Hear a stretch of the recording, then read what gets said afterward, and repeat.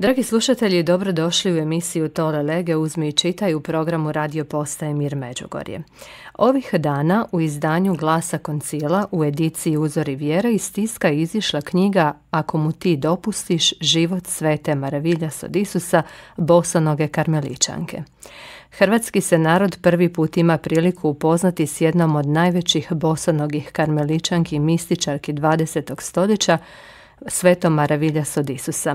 Tako zapravo započinje tekst koji prikazuje život, dijelo i poruke velike španjolske mističarke i osnivačice brojnih karmela. Danas u emisiji Tole Lege pozdravljam Doniozu Mužića koji je radio teološku lekturu ove knjige i na neki način je povezan e, s karmelom. Hvaljeni su se Marija Doniozo, dobrodošli u emisiju Tole Lege. Navijek Marija, drago mi je da se čujem, možemo čuti u ovoj emisiji, kad već ne možemo se vidjeti u Međugorju. Da, ako Bog da uskoro. E, Eto, dobro. E, Donjozo, evo, kažite nam kako je došlo do toga da ste upravo vi radili na ovoj knjizi, koja je vaša poveznica sa Karmelom, kažite nam malo o svemu. Može.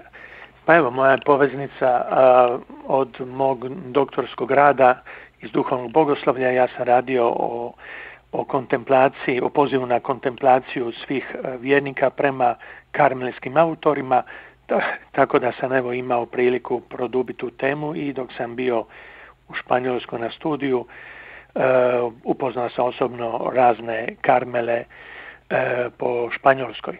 Tako da evo, nakon toga sam napisao knjigu Proroku Ili, koji je evo jedan od zaštitnika Karmela i to evo možemo reći e, su moje vanjske poveznice, a moja nutarnja poveznica najviše sa Svetom Terezijom Navilskom, kom sam evo E, povezan evo, od početka moga studija teologije. Riječ je o svetici našega vremena, zagovornici u mnogim teškim situacijama, onoj koju je Ivan Pavao II. proglasio blaženom 1998. pet godina kasnije svetom.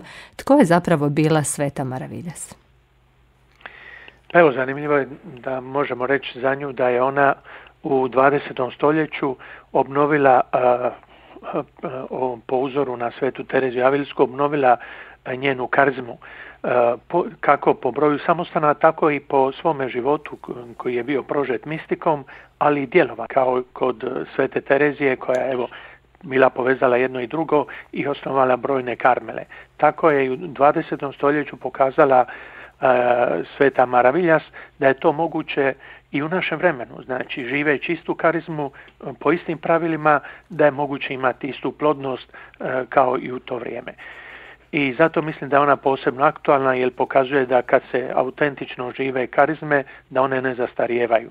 I zato je to nešto što nam daje svima zamisliti i pokazuje kako je svetost uvijek aktualna i za, svaki, za svaku krizu ona je jedini pravi odgovor koji imamo pred nama. Što je karizma karmelskog reda? Što je ono što je e, Svetu Maraviljas privlačilo karmelskom redu? Kod je zanimljivo da se ona već kao djevojčica praktički od šest godina odlučila za duhovni poziv, e, no nije ga mogla ostvariti bez pristanka svoga duhovnika, tako da je čekala do 27. godine dok se on na kraju nije složio. Ona je iz jedne aristokratske plemičke obitelji, imala je sav mogući luksuz i komfort toga vremena, sluge na raspolaganju, ali evo ona ljubav prema Isusu e, bila jača od svega toga.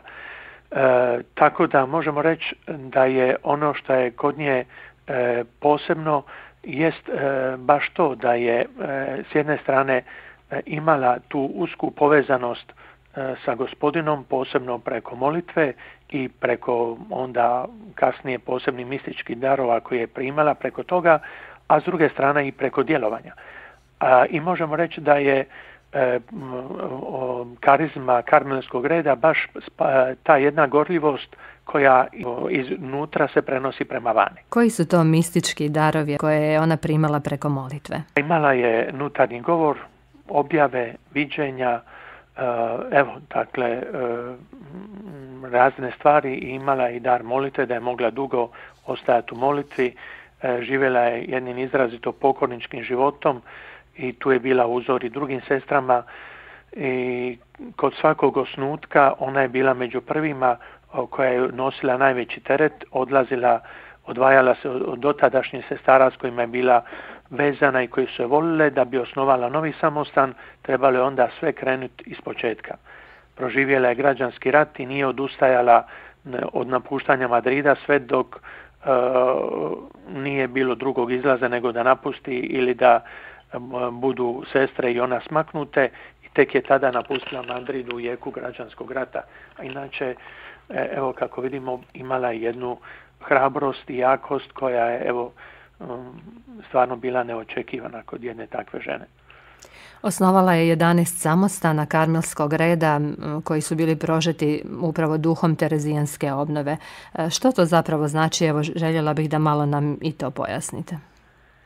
Pa evo, ono što je e, specifično bilo za Španjolsku, ali u stvari i u drugim zemljama u Španjolskoj posebno, jer po broju imamo najveći broj samostana u Španjolskoj, E, dakle, to je e, da mi imamo dvije, dva načina življenja e, karmelske duhovnosti u ženskim redovima, bosonogi karmeličanki. A to je, dakle, jedni, jedni samostani žive po neublaženim pravilima Svete Terezije Avilske, a drugi kao samostani kod nas žive po ublaženim pravilima.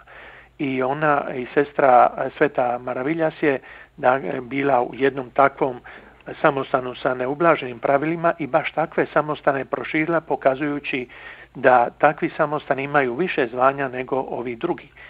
E, mislim da je to posebno e, značajno i za nas jer mi sad imamo u Španjolskoj devet Hrvatica koje su otišle i žive baš u takvim samostanima e, neublaženih pravila E, i to je nešto što pokazuje da interes za to postoji kod nas i da jedan ili više takvih samostana bi bili dobrodošli i u Hrvatskoj, to jest u Bosni i Hercegovini, jer bi bila nadopuna ovim e, ublaženim e, samostanima i mislim da bi onda zvanja onda mogla ostajati kod nas, a ne odlaziti evo tako daleko. Što je specifičnost života u tim neublaženim samostanima? Na koji način sestre tamo žive? Što rade? Kako žive duhovnost? Kako žive poziv?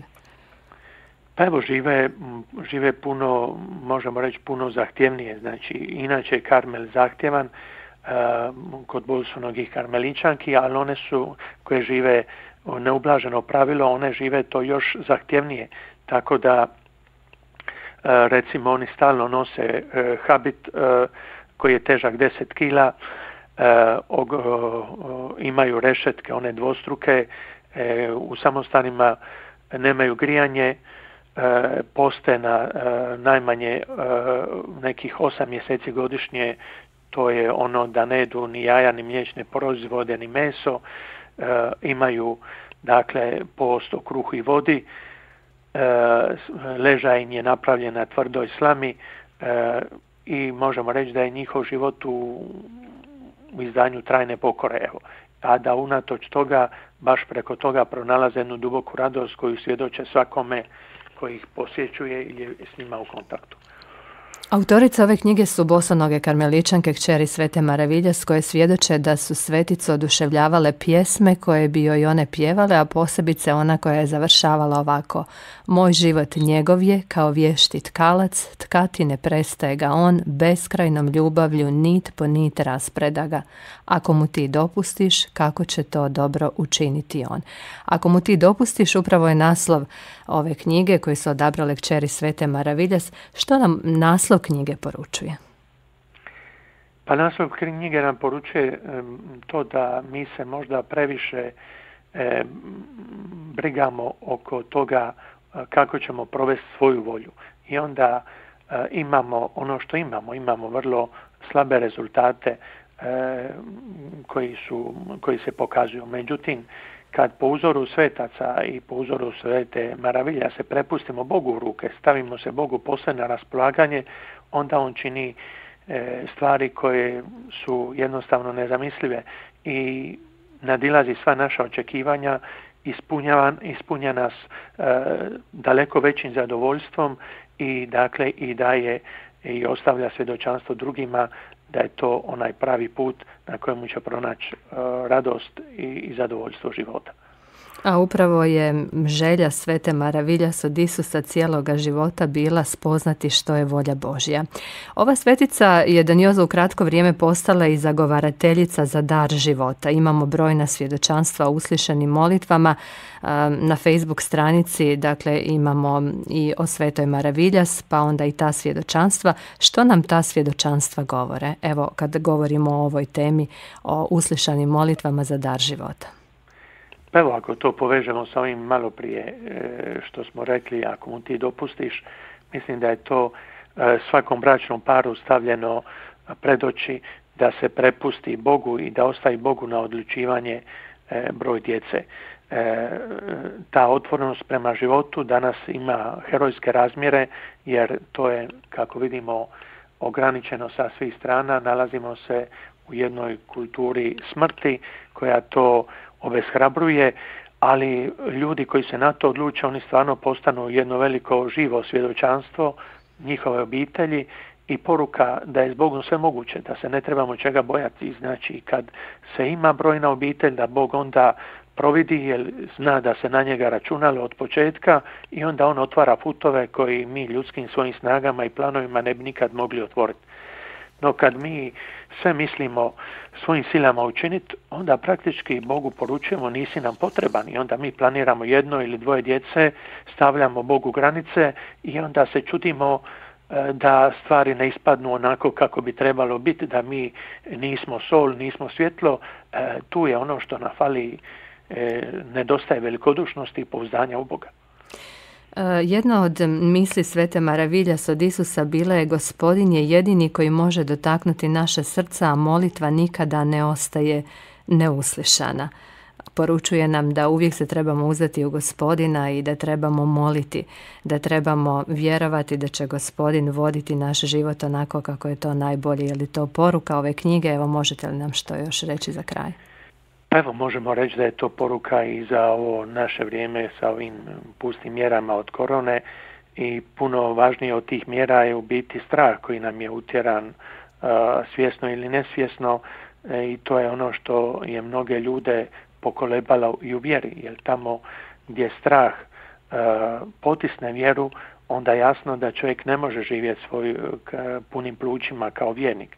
Zato je, možemo reći, E, ovaj osobna poveznica s Bogom da e, mi budemo stalno vezani za njega i oslonjeni na njega, to je ono što, nas, što nam daje snagu da unatoč protivština ovoga svijeta možemo živjeti život u dostojanstvu i slobodi djece Božje, ne bojeći se nikoga, mislim, koristeći e, razboritost koliko je to moguće, ali ne živeći nikad u strahu, pa čak ni u strahu od smrti, nego evo gledajući u svemu to ono pozitivno da je to i smrt zadnji izazov, da je to u biti evo prilika da budemo s gospodinom i da onda strah nadomjesti ono iščekivanje dođe gospodine Isuse. Uvjerena sam evo da će i naslov ove knjige, ako mu ti dopustiš, potvrditi se u životima svih onih koji knjigu budu čitali, a knjiga je izišla u izdanju Glasa koncila u ediciji Uzori vjere, dakle možemo je evo svi naručiti i čitati preko Glasa koncila. Hvala vam lijepo što ste bili naš gost i što smo mogli u programu našega radija predstaviti knjigu